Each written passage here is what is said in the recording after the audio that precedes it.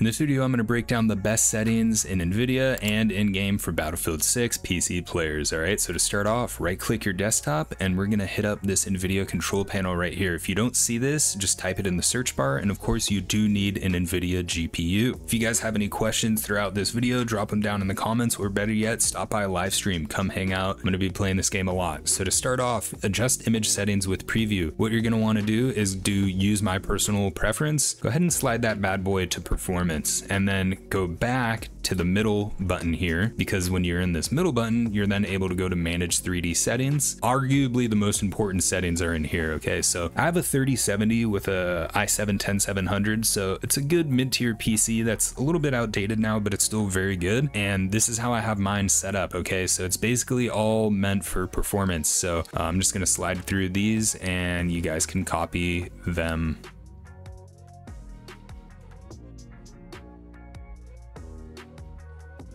Okay, pretty self-explanatory. We'll go back up.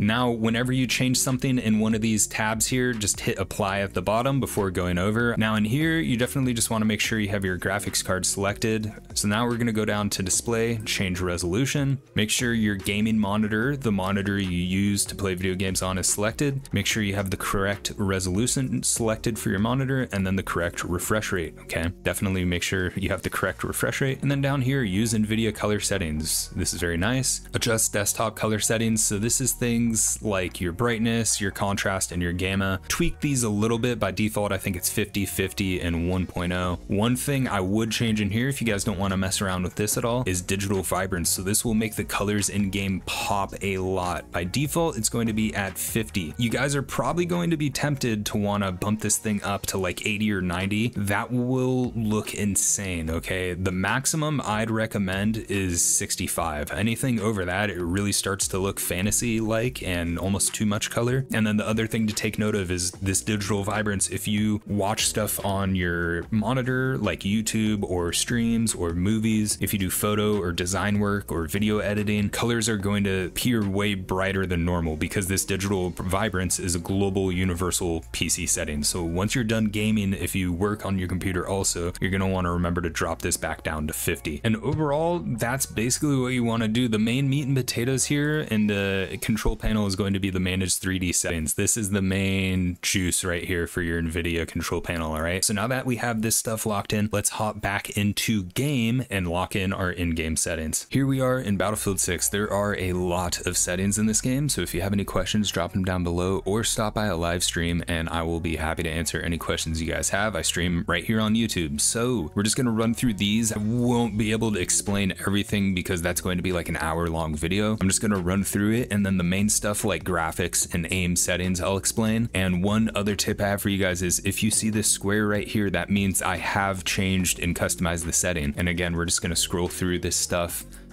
I would talk about everything, but um, again, it's just gonna take too long. One thing right here, master volume, I usually have this at 60 or 65. Brightness, I turned up a little bit because I don't want my shadows too dark to where enemies can hide in them. Some people like immersion like that, but I just don't. I like my player color on white. It's just super crispy. It reads easy in the kill feed and white looks very clean. Friendlies, I like blue. Squad color, I like green or uh, cyan, I think is another great option. And then enemies, I like red. Another great option for enemies is going to be yellow, but me personally, my brain, I like red and it's most intuitive for me. These two options, accent and primary, are going to be your main HUD elements. So like your primary weapon, your secondary, your utility, the mini map. So if you want to customize that look, that's going to be under primary and accent. And then neutral, I do recommend leaving this on either a gray, not a pure white. I would do like a gray, or you could even throw in some color. I think the default is like a off blue, kind of blue steel. That's a very good UI color, something like this. Camera effects. So this is basically motion and things like that. I turn everything off relating to motion, except I do like the infantry HUD motion. This is like your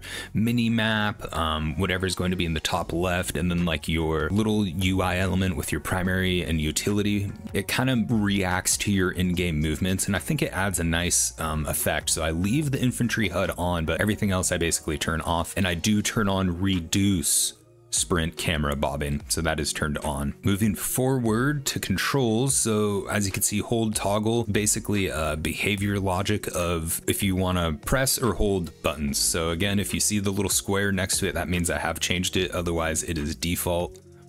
And this is really just personal preference, what makes sense to your brain. Moving forward, a controller. I don't play controller, so I don't know. Menu tutorials and in-game tutorials off. Uh, these are little like hints. So, um, you know, action prompts. Like for example, right here, it says enable or disable action prompts visible under the crosshair, such as the reload action. I really enjoy that where it pops up and it's like press this to reload. That lets you know you probably have only 10, five rounds left in your mag. So I do like this indicator and a few other ones. And that's it for accessibility. So let's go over to gameplay. Hold toggle. We actually just went through that menu already. It just appears again on the gameplay tab. Capture area outline, I like this on. This shows you on the mini map and I believe in game on the ground where the objective or point that you need to capture is to let you know if you're in or out of bounds. I'm going to do a more in-depth video on aim for sure, how to recoil, uh, how to master recoil and aiming mechanics, but we will go over my sensitivity for launch week. Okay, uh, this may be fine-tuned a little bit, but more or less it's pretty accurate. Here are my other keybinds.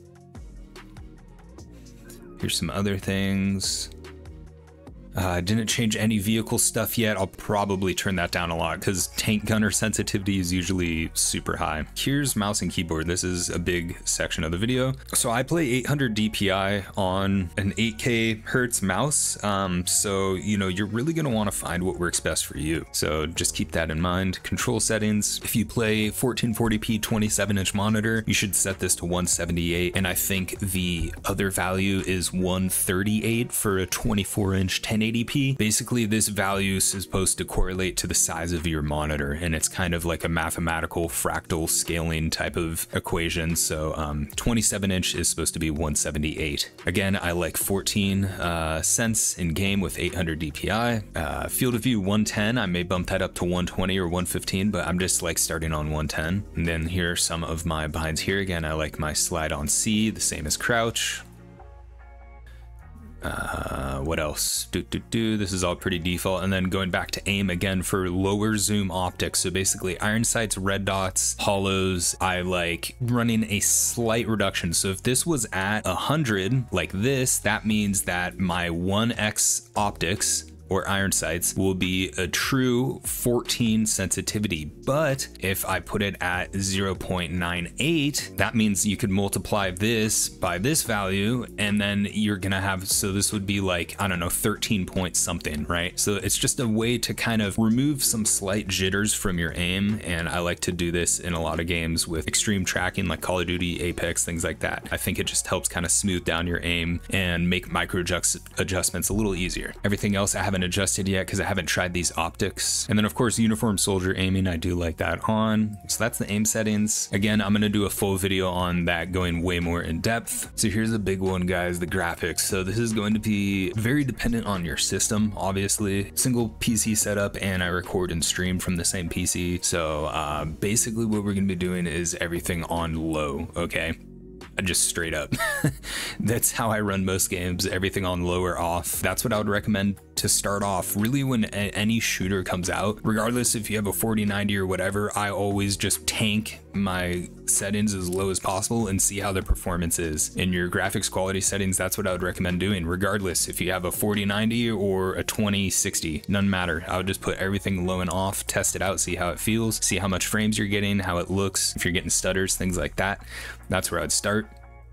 Um, I changed these brightness. I like my sharpness kind of crisp at 80, so I bumped that up. And then in advanced resolution scale, I just keep that at 100. Uh, I do have a frame rate limiter because my monitor is 165 hertz, so I just cap it a bit below the limit of my monitor just to avoid any hiccups there. Definitely run enabled plus boost. I always uh, run this in games. It feels good. A lot of people don't like DLSS. I I don't really care. Um, in some games, it does make it look incredibly fuzzy and kind of harder to spot enemies. Uh, in the beta, it was fine for me. I'm gonna try it out again. I like DLSS and performance and make sure you pick this based off of your graphics card. Don't just pick what sounds best. That will also help DLSS perform better. AMD FSR frame gen. This is actually really good for the AMD cards, but I don't have one, so I just have it off. Future frames. I don't have a 40 series. Um, I think this is 40 only, right? Maybe it's not, but I just have it off. And then performance overlay, I would just keep that on simple or off. Again, field of view 110, may bump this up to 115 or 120. Third person, bump that up a little bit. Here's more motion blur, camera shake stuff, off, off, off. Um, chromatic aberration, vignette, and film grain all off. Uh, I run full screen right here, full screen resolution. So as you can see right here, 2560 by 1440, that's my native res. I like going down one because you can't really notice the quality change, but you will get a big uh, performance increase. So I just like dropping down one from my native res and that feels pretty good. Uh, aspect ratio, you can keep that on auto. VSync off, toggle between realistic soldier lighting that does tend to blend to the environment and contoured lighting. So it basically says that soldier will blend into the lighting of the environment. And to me, that sounds like it's an added layer of camouflage for enemies, but I just have it off for now because this setting to me sounds like it's going to make it harder to spot enemies. Uh, maybe I'm misinterpreting that, but I just have it off. Advanced HUD settings, horizontal HUD padding. So as you can see right here, this gray space this is your screen. These are all the HUD elements, the little squares. I like my HUD padding pretty high because if you stretch it to the edge of your screen, you're gonna be looking right here. To read the mini map, you have to move your eyes more. So this is like a super sweaty, um, you know, setting I've done. And I learned this way back in like Modern Warfare 2, COD 4, maybe even. Uh, someone taught me this. So I just have always since then liked to run a bit of horizontal padding. I'll probably do somewhere between 60 to 75. Kill feed, I like squatting nearby. Oh, okay, you see two enemies with shotguns in the kill feed, you know two enemies have a shotgun nearby you. So like it's just giving you free player IQ. Minimap size, definitely I like large. The background opacity, 90. I do have view rotation on. In respawn shooters, I like view rotation on. Uh, 160 distance, and pretty much um, default for all of this stuff. As you can see, pretty straightforward icons and indicators this is another big one. So icon intensity uh, probably leave this at like 60 or 70 maybe. Um, HUD icons. So aim based icon opacity. I left this all on default and I just chose to go down here to the specifics. So for objectives basically I left the scale at 100 this is going to be like flags and stuff. I left the scale at 100 and the opacity at 100 when I'm zoomed though turn this off. If you don't set this to zero when zoomed when you aim down sight there's going to be way too much clutter So 100%, I think this is almost like an essential setting to do. Um, turn it off and then uh, occluded, again, I have that turned down to 60 as well, 60%. I may even do like 50. For friendly icons, uh, I definitely leave the scale at 100 and then the opacity at 100 because friendly icons are just as important as enemy icons. You don't want to be shooting your friendlies. You don't want to be confused. You want to instantly be able to tell that's a friendly, that's an enemy. So I leave the friendly icons at 100 scale, 100 opacity. When zoomed, I turn it down to 60 because you set it at zero when you're ADS, again, it's going to be hard to tell who's friendly or enemy. So um, I do turn the opacity down a bit when zoomed. And then for revives, uh, the scale, again, I turn the scale down a bit when uh, friendly needs a res. And then the opacity again at 60. And then when zoomed, I put the opacity at 20. So that kind of logic follows suit again for squad icons as well.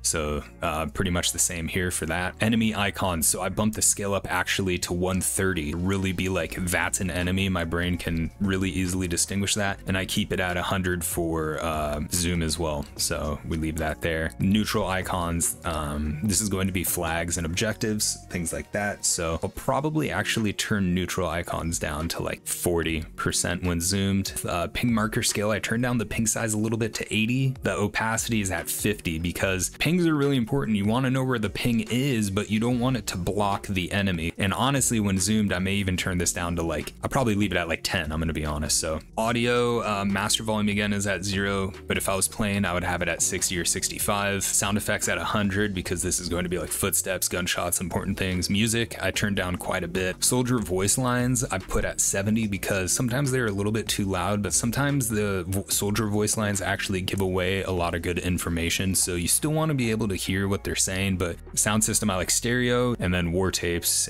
Uh, music radios, you could just turn off that if you want, but I kind of wanted to leave them on to see what music they play. Command console enabled. Um, we went through the mini map settings already right there. Scoreboard ping, I like this on for sure because then you can see the ping of players. Hope this video helps. Again, if you have any questions, drop them down below or stop by live stream. I'm going to be playing a lot of this game. So thanks for watching and have a good one.